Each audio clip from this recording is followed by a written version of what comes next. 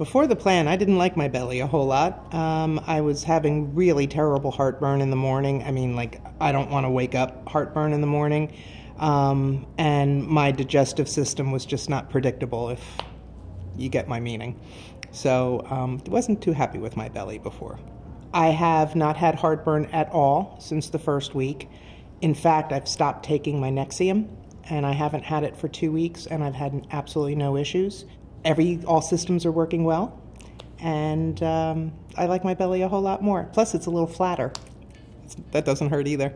These are actually my jeans, my small jeans, right out of the dryer, and I got into them without wiggling around. So, yes, I had gotten really, really far away from eating well.